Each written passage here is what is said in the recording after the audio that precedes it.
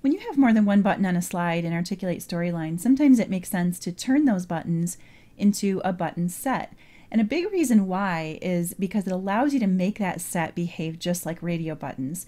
So what that means is, like on this interaction, only one of these three buttons can be selected at a time. And you can see how the selected state on each button makes it very clear which one I've selected. And if I select a different button, it's also very clear that the other two are not selected. So let's see how to create a button set. It's super easy. Let me just switch here to a duplicate slide where I have not yet turned these buttons into a button set. What we're going to do is select all three of them, and you can select them the way I just did by clicking and dragging, or you can use a control click to multi-select your buttons. And by the way, you can use other objects as a button set too. You don't have to use only Storyline's built-in buttons, and I'll show you how that works in just a second. So we've got our buttons selected, and now we can right-click and then choose Button Set. And now I can assign this button set to the default name that Storyline provides, which in this case is Button Set 1, or I can give the set a new name by clicking on New Set.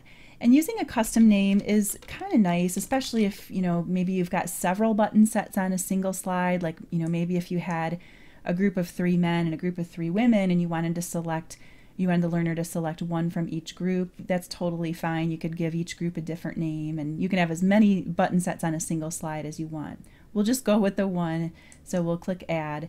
And now what happens is, if we select one of our buttons, and then look down here in our states panel, you'll see that Storyline created a selected state for each of our three buttons. And that means the learner is going to be able to see really easily which of the buttons is the selected one. And you can modify this selected state. Like if you wanted to maybe not have this default blue glow, you could just click edit states and then choose the selected state and make whatever formatting changes you want. Like let's just get rid of the glow just so you can see what that looks like. So under button effects, We'll turn off the glow and maybe we'll give it a border. Actually, let's make that border really thick so it's very visible. So now the selected state looks quite a bit different. Now, if you make that change to one button, you'll probably want to make it to the other ones too so that they behave consistently.